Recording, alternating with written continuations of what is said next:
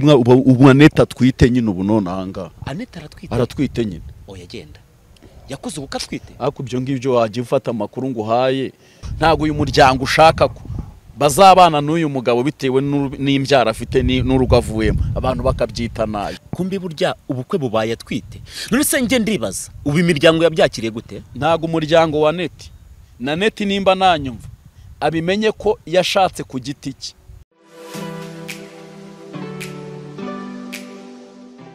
Impemburo tv iki ni igihe cyawe cyo guhembuka nawe ugahembura abandi. Nitwa muravanete ndashima imana. Ndashima imana ko impagaritse hano.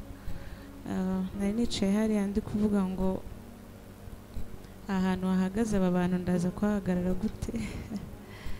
Ah, kubera nyine amavuta yatambutse hano hari igihe amavuta ajya atambuka hano ugasigara uvuga ngo ntaba ari njye pe. Ariko n'ubundi nta n'igihe na kimwe nigeze mvuga ngo abe ari njye. Ariko aba bantu bose batambutse hano ndabakunda. Imana ibaha umugisha. Ndashima imana. Ubushize ntangira kuririmba ntabwo nabanje kuvuga ariko ubundi ndi mu bantu bakunda kuvuga. Imana ishimwe ko yampayeho umwanya wo kwivuga gato kugira ngo profit. Ndashimana ku bw'abantu bose bateraniye hano b'abakozi b'imana. Imana ibaha umugisha. Ndabakunda cyane pasita teogene ndagukurikira imana iguha umugisha. Ndashima imana ku bwa mama lionel. Ejo bundi nari ndimo ah, ntekereza ko ari amateraniro yabaye haciyemo igihe kwa kwa minyone. Hari ibintu yari arimo aravuga. Ah, nari muzi ariko numva wagira ngo ni nkabwo mumenye. Numva wagira ngo ni bwo mumenye. Ntabwo nari nzi ko ari buze hano. Noneho sinzi ukuntu nagiye online kugira ngo ndebe nyine aho amateraniro ageze ndanashima imana ko mm, nari maze iminsi ndwayemo gake ariko ndashima imana ko yanyemereye kuboneka. Narindi online mbona mama Lionel ni we uri hano. Nahise na- ni wavuye imbaraga zanjye zo kwitegura mpita nitegura ndaza. Imana yo mu ijuru iguha umugisha. Ndashimana kubwo kwizera kuba muri we. Kuko n'umushumba arabizi azi ko nyine icyo kintu nanjye ngikunda. Ndi mu bantu bajya batura ibintu bitabaho nyine bitabaho ko njye simbere mba nshaka ibintu abantu nyine babona bamenyereye kuko mba mbona nyine ibyo barabibonye. Njya mbwira imana ngo ujye ukora nyine ibyo bataramenya. Kuko ni bwo nazamenya ko uri imana irema. Kuko imana igiye ikora ni nkaho igakora ibyo abantu bazi mbona nyine yaba ari nko kwigana. Kandi ari imana irema. Ndashima imana rero ku bw'abantu bose. Imana ibaha umugisha. Ndashima imana ko naje uyu munsi. Nahagararaga ntibikunde. Ntabwo nari meze neza. Ariko umushumba ari kuvuga ngo imana iri gukiza indwara Ah, ndashimana ko nabashije guhagarara iminota yose nahagaze. Ni uko rero hari hari imbaraga zo gukiza indwara. Imana ishimwe ko nanjye mbashije kuba nahagarara. Imana ihabwa icyubahiro. Niyo mpamvu hari indirimbo umushumba yari aririmbye mu kanya ivuga ngo sinzi uko ubigenza sinzi n'uko ubikora. Sinzi n'uko ubikora. Icyo nzi ni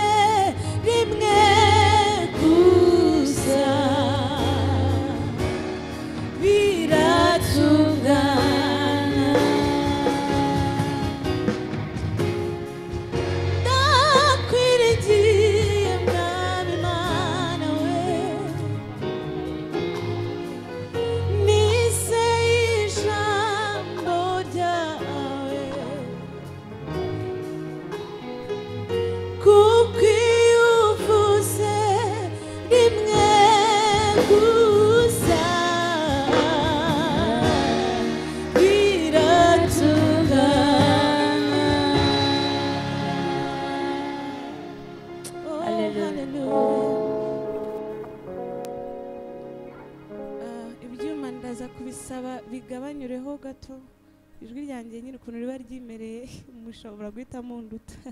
Ariko imana ibaha umugisha ko mwamfashije kubw'icyubahiro cy'imana. Tegeka mwami tegeka mwami tegeka mwami oh tegeka mwami oh tegeka mwami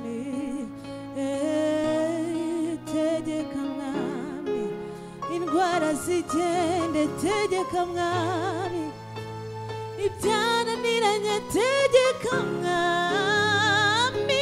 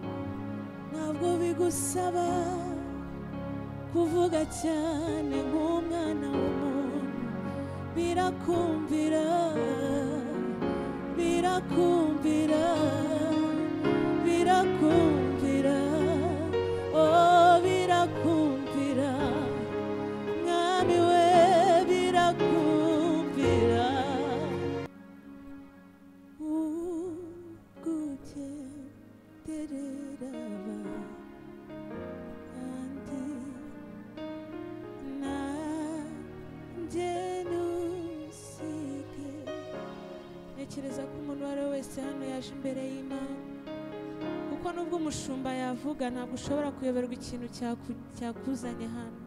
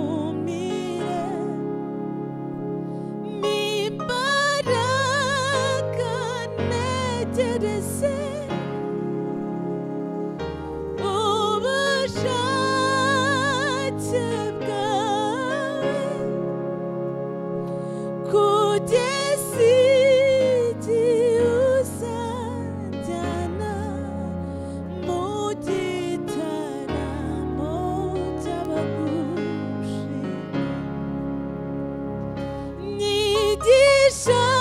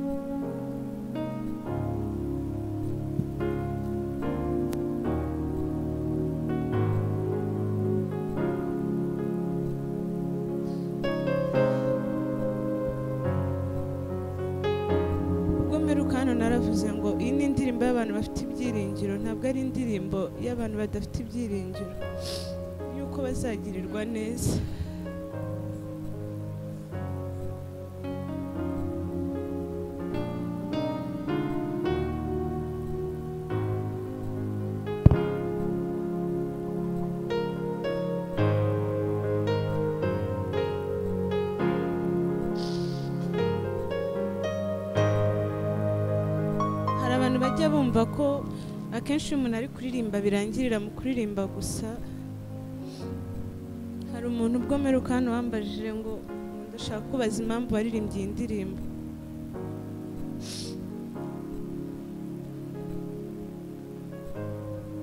Ariko buri gihe haba hari impamvu nyine y'ikintu runaka. Ariko nk'uko nabivuze nta muntu ushobora kuririmba iyi ndirimbo adafite ibyiringiro by'uko azajya mu gitaramo cy'abashima Imana ibi ni ibintu bimbaho gake. Gusa naje hano ah, nishake mbivuge ndemerewe pe mu mutima wanjye. Hari igihe apotre mignone yigeze kuvuga ngo abavugabutumwa bara- baragowe kuko nyine baba bazanywe no kugaburira abandi ariko hari igihe nabo baba bakeneye kurya. So uh, hari igihe nyine uzi ko nawe ukeneye ko umuntu yakuririmbira iyi ndirimbo so biba bigoye iyo ari wowe uri kuyitanga.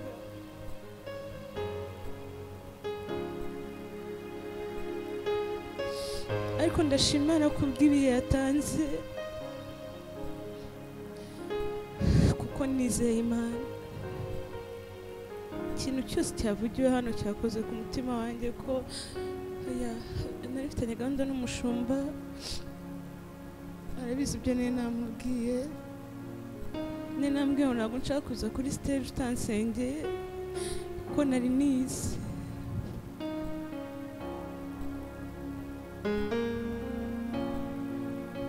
So ndashimana ko yambashije kuza nkaboneka rero muri uwo mwanya wo gusenga. Nabifashe nko kubohoka ko nicaye hariya. Nashakaga kurira ariko nkifata nkumva nk'ijwi rimbwira ngo ngo rira ko ariho nshaka kubohorera. Rimwe na rimwe iyo ijambo ry'imana rivuga ngo abayoborwa n'umwuka nibo abana b'imana. Ntabwo igihe cyose uko umuntu agiye kubohoka ariko nawe uri bubohoke. Nakomeje kwifata ariko ngakomeza kumva nyine mbwirwa ati "Nu- rira kuko ni ho hantu ngiye kukubohorera. Nkarira yavuga kurwana ngiye nkumva amarira niyo ari kuza nkakomeza kubwirwa rira nyine ni ho nshaka kukubohorera ni ho nshaka kukubohorera kuko ikintu cyose cyavugwaga hano nacyumvaga. Ah, ni byo bikiri kuba ndashimara kuri kumbohora.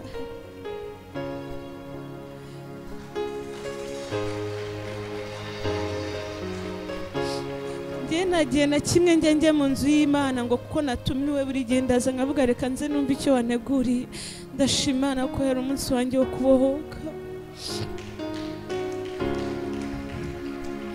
Buri gihe nahoraga mfite amavuta ariya nyine bajya badusiga ariko barayasengeye narayahoranaga mu cyumba cyanjye. Njya nkunda kuvugana n'umushumba aranzi ntekereza ko amaze kumenya. Ndi umuntu ukunda kwihanurira mu buzima bwanjye. Nkafata amavuta nkayasiga ku myambaro kubanga aka gatoki naragasengeye nyine bari kumbaza ukuntu nambaye impeta. Nyine ndababwira namaze imyaka nsengera urutoki. Ntabwo biba byaje gutyo nyine. Na- nafashe nafataga amavuta ngasigura urutoki. Nkatura nkavuga mu izina rya yesu kirisito ndatura ndatura ndatura. Rero nari maze igihe ayo mavuta yanjye ntayafite. Ariko ejo numva biri kunyakamo nyine ngo nongere ngure amavuta. Hakagaruka ririya jambo nyine rivuga ngo kubohorwa nyine biturutse ku gusiga. Ndangije mu gitondo ndabyuka. Mfata amavuta nyavanga n'amazi nari bukarabe. Ndavuga ngo mu izina rya yesu kirisito uko ngiye gukaraba aya mazi ariko urize kubohora ubuzima bwanjye. Buri muntu wese hano aba afite ikintu akeneyeho imana ntabwo umuntu uzajya umubona kure buriya buri gihe umuntu aba afite ikintu akeneyeho imana ndaje ndayibwira ngo uko ndi gukaraba aya mazi uko ndi kwiyuhagira aya mazi ariko uza kubohora ubuzima bwanjye. Mu izina rya yesu kirisito ndangije ndasoza. Maze gusoza ndavuga ngo nsigaje kuyanywa kuko numvaga hari ibintu mazi numvaga hari ibintu ndambiwe numvaga hari ibintu nshaka nyine ko akanwa kanjye nikazajya gasohora. Kubera ko namaze kumira ya mavuta kandi ngiye nahanuriye nkumva ko hari ikintu kiri bukoreke. Mfata amavuta ngiye guhaguruka nje hano ndayanywa. Nyanywa inshuro eshatu nkunda gukoresha imibare gatatu n'umubare karindwi kuko manzi ko bifite icyo bisobanuye. Iyo nyanyweye karindwi mba numva yuko ari umwuzuro nakiriye mu buzima bwanjye. Iyo mfashe nkanywa inshuro eshatu ndavuga ngo ibi mbikoze mu izina rya data mu izina ry'umwana mu izina rya mwuka wera. Ndabibwira ngo uko ndi kumira aya mavuta ariko ugenda ubohora ibintu byose biri mu buzima bwanjye. Ariko ugenda ubohora indwara uzikure mu mubiri wanjye. Mu izina rya yesu kirisito nkimara kubivuga gutya ndahaguruka ndaza nicara hariya. Nari meze nabi cyane abantu ba- bambonye nzanaje mfite agacupa k'amazi ndi kuyanywa vuba. Mbwira imana ati none se nutabikora biraza kugenda gute? Abantu bananyitegereje nza no guhaguruka byari byananiye abandi bahagaze. Ndi kubwira imana ngo urabizi ko ntabikunda. Ariko ndashima imana. Yuko ari njye uhagaze imbere yanyu muri aka kanya. Ejo saa moya z'ijoro mwihangane ngewe akenshi hari igihe nabivuze ngo nkunda kuvuga nshobora kuba nakunda kuvuga kurenza kuririmba. Nyine kubera ko ari cyo gihe ndi kumva saa moya z'ijoro ni bwo nafashwe nyine mu buryo budasobanutse. Nandikiye umushumba arambwira ni nyamara mushumba ngiye sinshaka kuza hano utansengeye numvaga nyine mbishaka ariko imana izi gutegura niyo mpamvu yanzanye mu gihe cyo gusenga. Nshima kirisito ko yatumye njya online nkahita nyine nabonye mama Lionel nibuka nyine ibintu yavuze. None reka ngende njye kwakira kuko ni ikintu yari yavuze. Ngiye guhita mbikora ndabizi ko nyine social media yari ntakunda ariko nta kibazo ndabikorera hano kuko mbishaka kubera ko nyine nzi icyo nshaka. Mama Lionel yari ari kuvuga ngo yarihanuriye aravuga ngo uyu mwaka nturangire ntagiye hanze. None arangije ara- kwizera kwe ahita agenda ajya kugura varize nyine nko kwereka imana yuko yabyizeye nyine. Hari karande yashakaga guca nyine aravuga agenda avuga urugendo rwose aravuga ati ngewe ngiye gukora ibi kugira ngo nkwereke ko nyine namara amajenge ubwo ni byo ndi kwiyongereraho. Kugira ngo nyine nkwereke ko niteguye ngiye kuzinga ngenda ibyawe ubikore mu kanya umushumba yaje hano yaka umuntu perimi arangije abaza n'umuntu aramubwira ngo nazane pasiporo yiwe. Arangije aravuga ngo ariko kuki mutagendana pasiporo ngewe nayigendanye kandi nayigendanye mbishaka kuko nshaka yuko nanjye Eh, kubera nyine mbizi ko ntabikunda ariko ndabizi icyo nshaka. Hari igihe umuntu nyine agera akavuga ngo no. Eh, ni cyo mvuze nyine kugira ngo abantu batazaba bamenya ibyifuzo byanjye. Icyo nta kintu gitwaye kukimenya. Ariko ndabizi ko n'ibindi byanjye byo mo imbere nyine imana ibizi. Ariko yo nayizanye iri hano. Nabwiye imana mu bintu utari bunyibagize pasiporo yanjye ntuyinyibagize kuko uyu munsi ndataha na viza kandi ni viza igiye guhesha imana icyubahiro. Njye ntabwo ibintu mba ngiye gukora ari ibyo kwihesha icyubahiro. Narayibwiye ngo nimba uzi ko bigufitiye inyungu bikore. Rero ndashima imana. Ndashima imana ko nyitahanye. Ah, naturutse mu rugo ndi kubwira imana tubu pasiteri yavuze ngo tubwirane ngo felicitasiyo mutanibuka ko navuye mu rugo maze kubwira anete congratulations mbega ibintu anete abonye. Nyine ni ukuri ndi kubwira umutima wanjye. Ndagenda ndavuga ati ngiye kwandika letire nyine. Za letire zose bajya bakwandikira nyine iyo bakubwira ngo congratulations. Ngo twabirisivinze cyangwa se you now allowed nyine gukora iki n'iki. Ngewe nihaye congratulations z'ibintu byose byose nari maze igihe nkeneye ndavuga ngo congratulations Annette. Congratulations congratulations. Ko winjiye mu bintu byose wari umaze igihe urindiriye ngeze hano umushumba aravuga ngo bwira mugenzi wawe ngo felicitation ngo kuko winjiye mu gihe cyawe.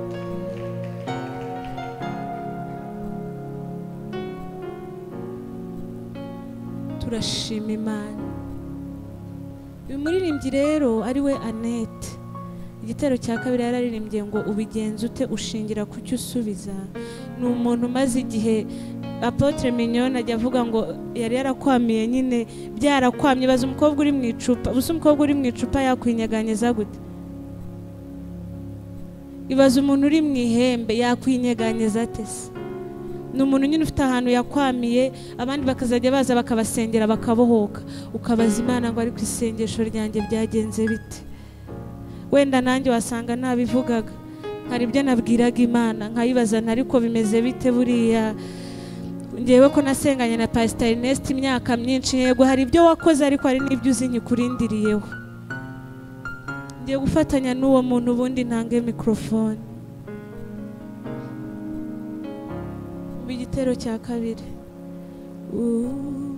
Ubigenza ute ushingira ku cyo usubiza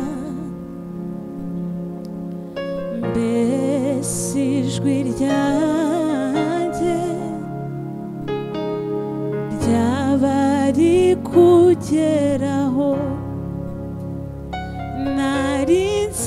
Ku isoko y'imigisha. Nta n'umwe uyihezwaho. Mbese ni kimwami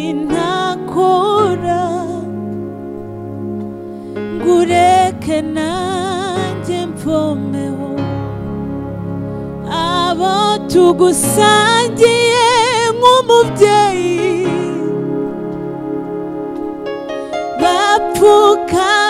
Machine.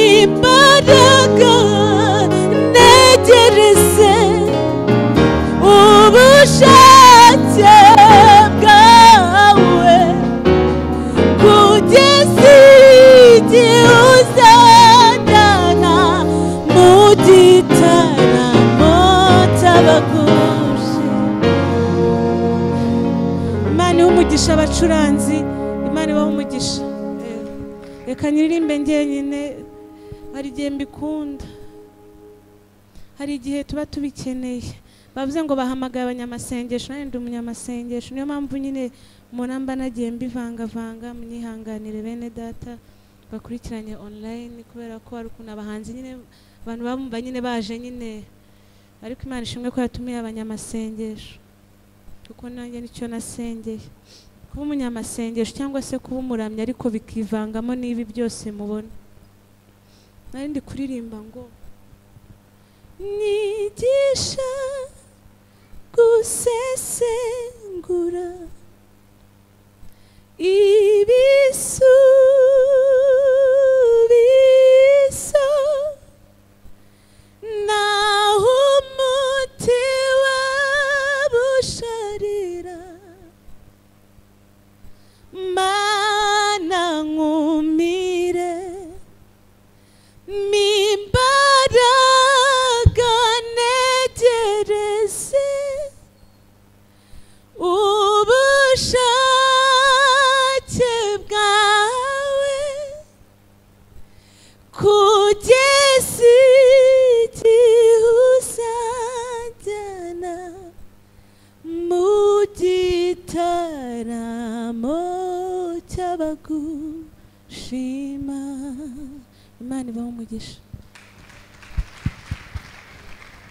uza guhera kuri bishop gafaranga na Annette Murava nibo ndibuze guheraho amakuru ya mbere.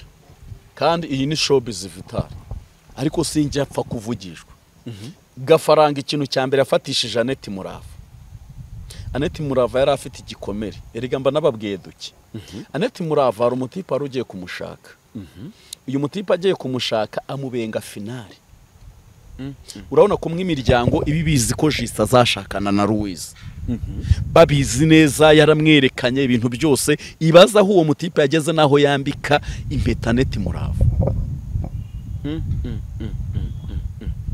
ni bimwe twabonye kuri social media? Uretse se itonde. Hakujya witonda ko mba nyakumanuka nkayakura igihara nkamanuka nkamanuka nkayafatira moto. Reka nitonde. Wagiye witonda. Rero gafaranga yinjiye muri iyo gahunda kuko uyu mutipe wari uri kumwe na neti murava yahise we yishakira undi mugore. Ntumbaze inenge yabonye kuri aneti murava nimba yaramenye ko wenda afite umwana nimba se wenda yaramenye ko urumva abantu bica ubukwe mu buryo bwinshi bugiye bitandukanye ibyo sinabimenya. Gafaranga azira muri icyo kika rero. Ashora imitoma n'ibiki yerekana n'ibitangaza n'ibiki pa ashiduka atiye umwana w'abandi inda mu gikomere havamo inda. Ibaze ko umuryango wa neti murava ari ibintu njya nzana aha abantu bakabyita nkabwira uti uyu muryango ntago wigeze we ushaka ko uyu mugabo azashaka uyu mugore uyu mugore ntago ntago uyu muryango ushaka ko. Bazabana n'uyu mugabo bitewe n'imbyaro afite n'urugo avuyemo. Abantu bakabyita nabi none se urambwiye ngo yaze mu gikomere birangira amuteye inda mbere ho gatoya urongera urambwira ngo ashobora kuba yaramenye ko afite umwana bigatuma uwo musore uwo mutipe amubenga. No mu makuru twakiriye twahawe n'inshuti y'umuryango wa bishop gafaranga ndetse na mama mucyo yatubwiye ko bafitanye umwana ndetse mukuru. Ibyo urumva barabibabwiye. Ibyo sindi bunabigarukeho none se iyo nda iyo nda yamuteye? Ni iy'undi mwana? Ni iy'undi mwana ubu aneta atwite nyine ubu none ahangaha aneta aratwite? Aratwite nyine. Oya agenda yakoze ubukwe atwite? Ariko ibyo ngibyo wajya ufata amakuru ngo uhaye ubwo yaba adatwite bagashyiramo tesite nkagenda nkafungwa gusebya umuntu. Urabona nzana ibintu by'ibihweho hano kuri yutube sinjya ngenza wese wazabajije sabe impamvu batabaye. Bamwe baremusi bacita abandi bari kuba ba pare kuki batabaye ba paresi abandi ntibabe ba emusi mbo reka twinjiremo neza reka twinjire turebe ukuntu ibintu Reka. byatangiye hanyuma yinjira. Yes. Urumva mu kumutera inda ntekereza ko ariyo mpamvu. Ubukwe bwirukankijwe n'ibiki n'ibiki. Kugira ngo barebe ko basasira ibintu vuba vuba ariko nyine n'ubundi ibintu biba byagiye hanze. Reka erega ibintu by'ikinyoma vitari ntushobora guhisha ibintu by'ikinyoma. Ikinyoma ubwacyo kirakuza mu mutima kikagukora bunyoma. Ukanagitangaza na cyo kikagaruka kikakuzaho kikavuga ati njye ndi ikinyoma. Urumva? Kikakwigaragariza. Ibintu byose byubakitse mu kinyoma. N'ubundi bisenyurwa n'ikinyoma. Iyo ndi hano rero ndi kuvuga ntabwo rega njya nataka umuntu utarishyizeho izina ry'imana. Ntibishoboka. Ntabwo njye muzansanga natatse amaji ntimuzansanga njyewe natatse impamvu nkunda kuvuga amaji ndamukunda. Ntabwo muzansanga njyewe natatse bruce melody. Urumva? Ntabwo mu- mushobora kuzabibona. Ariko umuntu nimba ari ahantu ahurira aneti n'umuramyi bishop gafaranga nyine yabigiyemo ari ibyo by'amakinamico n'ibiki ariko birangira abantu babimufashemo nawe arishuka ahita ajya muri ibi bintu byo gusenga. Rero niyo mpamvu yashidutse ibintu barabyihutisha barabyihutisha. Barabyihutisha. Ariko baraje barebe ntabwo imana ishobora kwihanganira amarira amarira mama muco ari kurira. Ntabwo imana na, ba muco bakarira. Ni ukuri kw'imana. Ntabwo imana yayihanganira. Iraje kandi uyu mubyeyi. Uyu mubyeyi ureba mama mucyo witeka imana iraje mutabare kandi uzabibonesha amaso yawe. Kuko ntabwo imana none se reka nkubaze ko ibintu bye gafaranga yamaje kubirya bimaze nta kintu asigaranye. Urabona imana yananirwa guhoza ayo marira uyu mubyeyi. Ngaho mbwira uyu mwana aba bana batatu babayeho bate? Ku butunzi bwo mu muryango w'uyu mubyeyi yari yabamariye kwa gafaranga. Kuri gafaranga. Amwigisha gusoma no kwandika. Agira guta amugura amapantaro. Ngaho amadeshiri. Ngaho ibiki n'ibiki inkweto. Ngaho ibiki n'ibiki. Amarakositi n'amadeshire se? Kujya ku- kujya gukina ziriya komedi ziwe. Byose umugore yabaga yashoye. None mama mucyo utwo tuntu dushize ibyo bivuyemo ibindi azi ko bizagaruka birangira ahubwo biri mu madeni. Shavita byihorere. Ya kredi se twumvaga? Ndetse ko ari na yo ishobora kuba yaratumye batamusezeranya mu, mu murenge. Waba waramenye amakuru y'iyo kredi ko yishyuwe waba waramenye amakuru ko bishop gafaranga yasezeranye mu murenge na net murava? Nkimenya yuko aneta atwite. Byambabaje. Ayo n'andi makuru yandi. Ariko hari imana ije gutabara nyine. Ibya keredi ntabyo nzi. Njye mvuga ibintu nabanjije guhagararaho. Eh? ayo makuru ntago nyafite ko yaba yarayishyuye yararangiye cyangwa ari zo ntandaro. Mana yanjye. Kumbi burya ubukwe bubaye atwite none se njye ndibaza ubu imiryango yabyakiriye gute? Ntago umuryango wa neti na neti nimba nanyumva. Abimenye ko yashatse ku giti cye. Ntago umuryango wa neti wigeze ushyigikira ibi bintu ubwo bisa Byaba mama we, ubwo bisa n'ibyaba mama mucyo ntiyigeze abishyigikira ntibibaho. Ariko so vitari waba uri umubyeyi ukishimira ko umwana wawe ashyingirwa. Mu bintu biri mu induru ntago bigeze babyishimira ibi bintu. Ni na yo mpamvu abari emusi byahindutse nyuma. N'abapare bigahinduka. Ndashimira rene gahongayire wihanganye akitwa mama ku gisebo. Harya yiswe mama wande? Siwe marene? Eh. siko nta makuru ufite. Ese burya rine gahongayire ni we marene Eh. wa nete Eh. murava arine gahongayire ni we marene. Ese mama. Umfasha ni we marene. Ihorere. Ariko ko ko- ariko njye nzajya mbabwira ukuri nigendere. Mu- mu- mu- muntuke nigendere.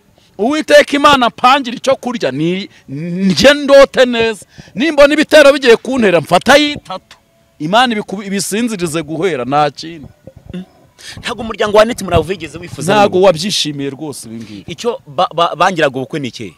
Ariko si ubwo urumva weho nimba umwana wawe wabyaye wari uzi ko ufite ejo hazaza he? Urumva? Mm. ndetse ari ejo hazaza h'igihugu kuko aneti murava ni umuramyi. Buriya iyo umuntu ari kuri yutubu cano agakurikirana cano ye birigaragaza. Uhita ubona ko uwo muntu afitiye umumaramarira abantu Mm. sibyo? Ni umuntu imana yishimira ni umuntu imana yubaha gafaranga we ntabwo ndi bubijyemo cyane kuko gafaranga ni umupagani.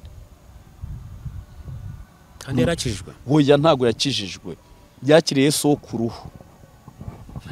Hari abantu bapfana hari abantu babatizwa bakikanga ko koko ibyo bibiri ivuga ari byo. Hoya ushobora kubatizwa mu gitondo muri yorodani mushumba akakubwira ngo upfanye na kirisito uzukanye nawe ntiyazutse asambana. Nta cyaha yigeze akora. Umuntu arabatizwa mu gitondo nimugoroba akanywa ibyeri. Ubwo se yabatijwe iki? Umuntu arabatizwa mu gitondo nimugoroba agasambana. Ntabwo uwo muntu aba akijijwe rero. Ni na yo mpamvu uyu munsi wa none vitari ubona abantu baba bakintuka batumva ibintu nkora ni uko nzi ibintu biri difera y'ibyo baba bazi ku bantu. Ibyo navugaga nabivuze. Aha hantu ngenda ngira ngo usoze ah, utanga inama kuri bishop gafaranga nk'umuntu wumvishe amateka ya mbere ko mu muryango yashatsemo bwa mbere ku mugore mukuru mama mucyo ko umuryango wari wamwanze ariko ah, umugore akamwemera akavuga uti njye ntacyo ah, bintwaye. Hanyuma ukongera ukumva n'ayo makuru y'uko n'umuryango wa anete muravu nawe uta- utari wamukunze ariko anete akavuga uti njye naragukunze turibanira. Ni iyihe nama wasoza uha bishop gafaranga? Icyo na- nabwira bishop gafaranga ariko ni nkanjye jisite ni ukumugira inama yo kurekura umwana w'abandi. Yo ku yo kurekura umwana w'abandi. Uwuhe mwana w'abandi? Anete akamurekura? Mm. akamurekura akamujyana he? Se n'ubwa mbere tubonye abantu babyaye kabiri bashaka. Imana izamuha uwo yamu- yamutoranyirije. Ushatse kuvuga ngo na narekure anete ndetse ntabwo mbivuze ntibyumvikana amuhe divorce? Nimba barasezeranye bigakunda. Ndetse ubundi bw'ubwo bazagera kuki n'ejo hazaza n'undi usanga netaririye mu myotsi. Ibyo nimba bitabaye ibyo rero. Akaba yumva yere gutinya itangazamakuru byafatwa gute? Ah ah mu mutima wabo bombi barahazi bazi ko nabo ubwabo ari imiriro barabizi. Rero bere guhagarara kuri icyo kintu nibamese kamwe ibintu birangirire rimwe saga ive mu nzira. Anete azabona umurongora anarere nabo bana ba gafaranga. Gafaranga nawe asubire mu rugo rwe. Ndago nka bariya bagiye baca ibiti leta ikazitagura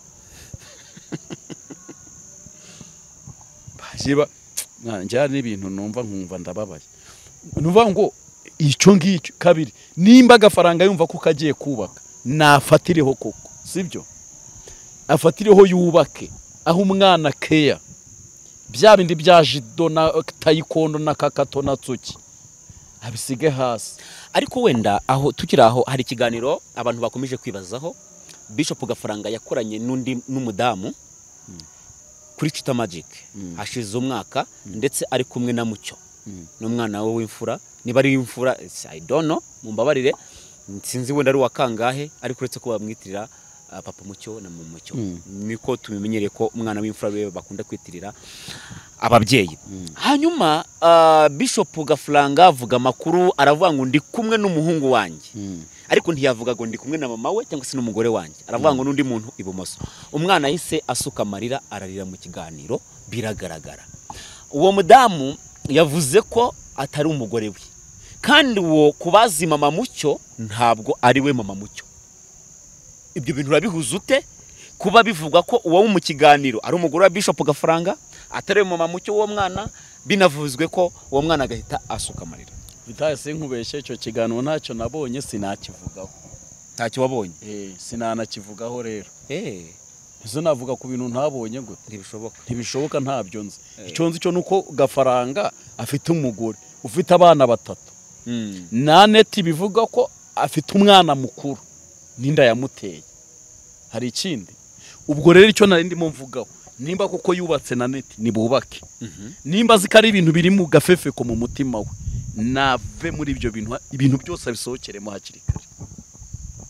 Twe ntituzigere kandi ibi bintu sinzagaruka nongera mbivugaho. Ntituzabone nyuma bababaje uyu mwana neti nimba uyu mwana umuryango utarabyumvishe gafaranga akagusanga shikamo. Ibyo bintu byo gusohora akaguru k'iburyo ak'ibumoso wagiye watarutse ibipangu wasose ibiki n'ibiki shikama wubake nk'umugabo umwana ane- anete umuhe urukundo wite kuri aba bana kuko basigaye ari saa kintu abana ba, mucyo na mama wabo. Babayeho ubuzima rwose bwo gufashwa no gutabarizwa. Sha, ariko mba reka na yo kwivugamo iki kiganiro. Urumva? Da. noneho ni ukuvuga ngo yere kongera kuzagira undi mutima yakongera kubabaza. Mm. noneho icyo nabwira neti wikumva ko ushatse urugo umugabo uvuye mu rundi rugo. Ahubwo reba iby'urugo rwawe. Wubake ushikame urukomeze. Ntiwite kuri ibintu ba jisite bari kuvuga. Wubake urugo wirengere n'ibindi bintu byose uza- uzahuriramo no muri urwo rugo. Bashikame bakomeze hanyuma ikindi kuko aneti ni wenda ndabizi ni sindahura nawe ariko ntiwaririmba udafite mwuka wera. Uririmba indirimbo zihimbaza imana. Gafaranga nubwo yaje mu bintu bya gikirisita kina komedi ntawe uzi umutima we. Ndahamya ko ari umupagani. Ariko no bite- kuva na kera yari umukristo. Ibyo simbizi. Ibyo simbizi. Nta mukristo ukora gutya. Ahubwo nawe akizwe. Nicyo nari ngiye kuvuga. Yegera imana akizwe. Mm. namara gukizwa. Barebe ukuntu imana izabagenza. Imana izabagirira neza kandi cyane. Reka nsoze eh, nkwaka nimero za telefone kuko hari abantu bazifuza kukuvugisha bazifuza ko musengana eh, cyangwa se bazifuza kukubaza n'ibindi bi- byisumbuyeho. Reka ntange ubutumwa. Ufata nimero yanjye. Nimba ari ukugira ngo ngusengere mpamagara. Dusengane. Nyandikira. Ibyo kumbaza ubusutwa simbikeneye ubusutwa ni ubuki umuntu ukubaza uguhamagara ese koko buriya koko hoya ibyo akira ibyo twakubwiye? Ibindi usesengure nkawe nk'umuntu. Kabiri nimba ushaka ko dusengana nzagusengera. Nimba ufite ibyawe byananiranye amajini ya imigongo yanze gukira ibiki n'ibiki ariko ukaba waravuye kwa muganga. N'abantu barwaye umutwe bazi ko ari uw'abadayimoni ariko ari uwo gutekereza cyane. Mm. banza ubundi umutwe urwaye urwaye gute bivuye he? Abarozi nabo ba- bahabwa agahenge vuga ngo nimba nimero yanjye mba ngiye kuyitanga ni ukumpamagara. Ngusengera wimpa amakuru ko sinyagusabye mfite aho nyakura. Muri kubyumva mwana umwe turi kumwe. Wimpa amakuru ntayo ngusabye mfite aho nkura amakuru ngewe. Rero nimba ari nimero yanjye nge ndi umushumba uzangerageze uzasanga ndi pasiteri kandi. Mm. ndi umushumba ngewe. Nimero yanjye ni zeru karindwi umunani kabiri karindwi kabiri kabiri ijana na mirongo itatu na karindwi. Niba imana ikubwiye jisite mugura inkweto zigure wijya kubaza abantu ariko zigure. Nimba ari umuceri wikorera umbwire ngo ntahaye uwuzane. Niyo waba urimo aside yumye nzawurya. Kandi ntacyo nzaba. Wowe wunzaniye nta kibazo. Nta kibazo ibindi nzirwariza. Nimba ari ukugira ngo dusenge nidusenge ngewe mureke mbabwire bene data. Ninsonza nzaza mbabwire ko nshonje. Inkweto mfite nizishira nzaza mbabwire ko zashize. Ikinzi imana yaragikemuye. Nabonye marita rwose marita rwose imana iguha umugisha aho uherereye wavuze ko uzanyishyura inzu imana iguha umugisha Inde? ikindi. Nyine ni marita umuntu ukora imirimo myiza ni marita. Eh, ntabwo nzi izina rye. Naringize ntarananyandikira ubwo nyine muhimbye marita ku bw'imirimo Eh, myiza. gusa uriya mubyeyi imana imuha umugisha hari n'undi muntu yishyurira yewe ah, Imana mba- mbasabiye umugisha ninkubwira ngo nabuzeho kwishyura inzu. U- cyokoze ubu ngubu wenda ku- rusengero nabwo imana kuva ndutangiye iza izohereza abagomba kubikora. Mm. izohereza abagomba kubikora. Izaguha abaterankunga. Abaterankunga izabazana. Ubu hari abantu imana yambikiye ntazi. Mm. rero imana iduhana umugisha. iduhane umugisha reka dusoze dusenga imana. Murakoze cyane mu magambo igihumbi sinaburamo iri gutusha ku mutima aho bitari bukuryohera umbabarire. Yesu ni we uzi ibiryohera abantu. Mana mu izina rya yesu turagushimiye kuri imana ikomeye tugushimiye kuri imana igira neza ntuhabwe icyubahiro. Hari abantu bamaze kudukurikirana nubaha umugisha nubagirire neza mu mpande zitari zimwe mu bihugu bitandukanye wite ku buzima bwabo hari ibihugu tubona mwami mu makuru byatewe n'imyuzure mwami harimwo abababaye benshi. Mwami uduhe kwitekerezaho kuri kiriya kintu kiba cyabaye tuvuge ute se twe bibaye kuri twebwe? Uduhe gutuma abantu bongera bakitekerezaho cyane ku kugaruka kwawe ku nzira yawe ku kwihana kuri bo mu izina rya yesu uduhe imitima imenetse ihindishwa umushyitsi n'ijambo ryawe. Kandi mwami umuntu wese ukurikiranye izi cano yaba urugendo yaba impemburo yaba mwami nyiringabimana impanuro abo bantu bose badukurikiranye. Bakira umugisha uvuye iwawe mu ijuru ijuru ry'amajuru ku mana isumba byose ku mana ishoboye byose. Se mwami wacu yesu kirisito bimenyekane kuri imana. Kiza abarwaye uhembure mwami abantu imitima yaguye umwuma. Kandi mwami iki kibuga cya yutube uzikomeze ukinyuzeyo umweyo wawe kuko uri imana ikomeye ni mu izina rya yesu. Amen.